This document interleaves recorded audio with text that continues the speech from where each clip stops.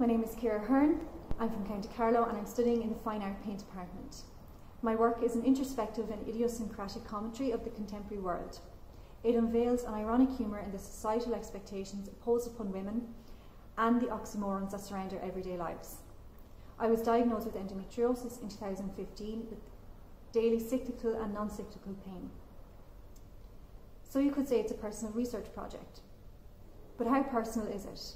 Up to 10% of people in our general population are affected with endometriosis, and up to 50% of women with infertility have endometriosis. It's often a taboo topic to openly discuss sexual health.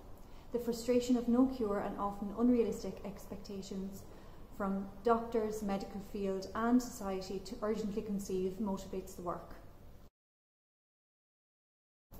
Our ability to adopt humour can challenge problems and adversity that we face in our lives. This is the aim of my work.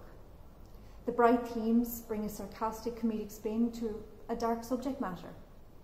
The colourful and playful imagery is a satirical illusion of happiness and reflects an inner maternal turmoil.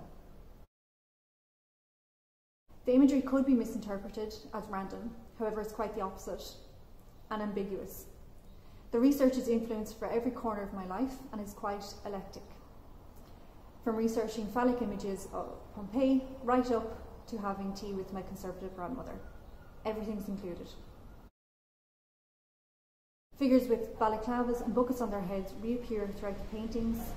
They serve as a maternal instinct to protect and provide optimism in a rather bleak world. This facade of infantile themes conceals morally weighed concepts.